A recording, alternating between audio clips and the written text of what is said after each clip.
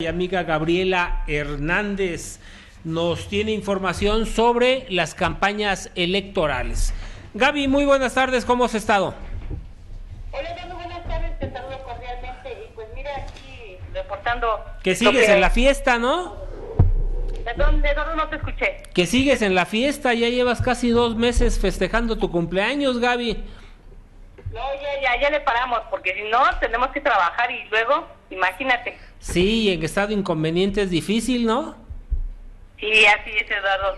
Ni modo, tenemos que No, pero trabajando. todos los amigos y, y quienes te quieren bien en el Estado de México y, a- y aquí, por supuesto, festejamos todo el año tu cumpleaños, Gaby. Ah, eso sí. Eso sí, se agradece mucho. Es mutuo el, el, el afecto y el cariño, Eduardo. Muchas, muchas, muchas gracias. Oye, me dicen que Juan Cepeda también te, te felicitó, ¿no? Que allá en, en el meeting de campaña.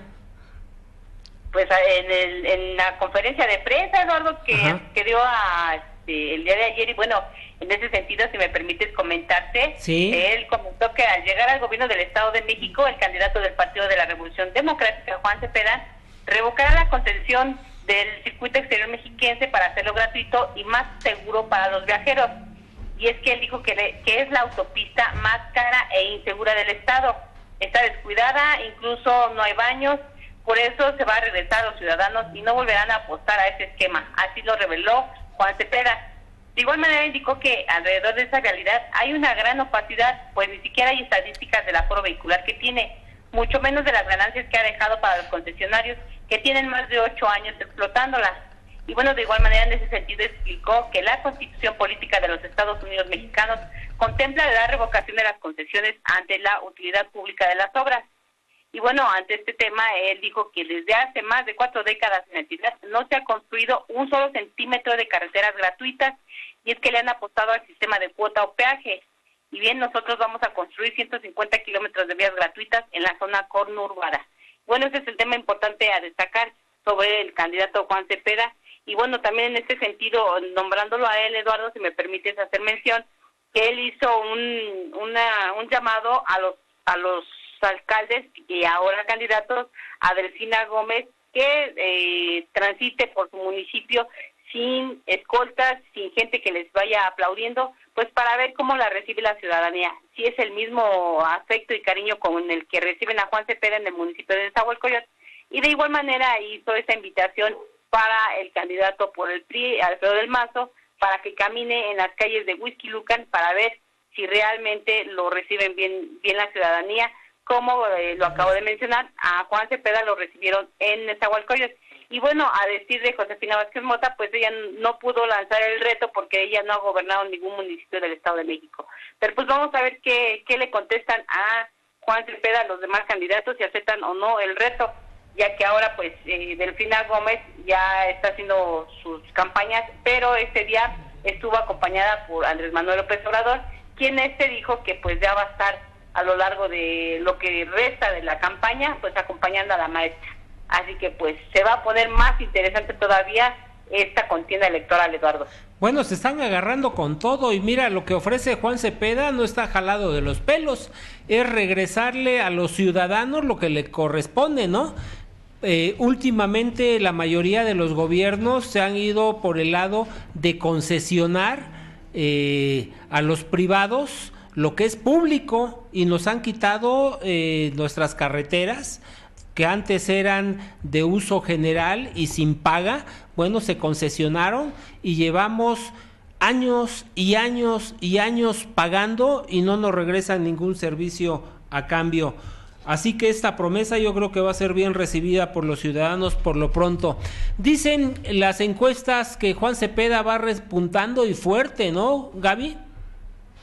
Pues sí, aparentemente eso es lo que está ocurriendo, este Eduardo, porque lo están viendo bien sus propuestas de Juan Cepeda, pero pues hay hay distintos sectores que opinan todo lo contrario de lo que hizo y no hizo en el municipio de Zahualcoyot. Pero pues bueno, ahí hay que ver pues si realmente despunta mucho más para que él pueda ser el, el, el elegido y sea el próximo gobernador. Todavía la moneda está en el aire, Eduardo, y pues vamos a ver qué, pues qué, qué se van a dar porque se están dando con todo, Eduardo. Siguen ubicándose en primer lugar de preferencias eh, Alfredo del Mazo y Delfina, ¿no? Que son los que traen más lana para regalar frijol con gorgojo y sin gorgojo.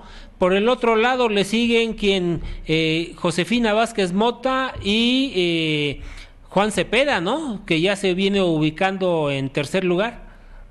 Así es, así es. Efectivamente, Eduardo, bien acertado tu comentario. Pues ahorita ya Cepeda, ya en otras encuestas, ya lo dan en tercer lugar y a Josefina en cuarto lugar. Y bueno, y en este, también en este sentido, comentarte que ya le cancelaron su candidatura a Isidro Pastor entonces, pues te digo que las cosas se están poniendo mucho mejor en el Estado de México con estas elecciones, Eduardo. Bueno, ese voto pulverizado que eh, le representaba casi un 3% a Pastor, bueno, pues eh, se irá a sumar a alguno de los partidos fuertes, ¿no? Mira, tengo en este momento a la vista ya eh, las encuestas y dice que por el lado de Alfredo del Mazo, 21% de preferencias, ¿eh? Después eh, viene, aquí ya se nos fue la señal de esta cosa, pero viene el Partido Acción Nacional, después le sigue el PRD, Morena, Morena Delfina con 17.4 de preferencias, Vázquez Mota con 14.1, se van peleando. Y Juan Cepeda 12.7%, que ya subió, ¿eh?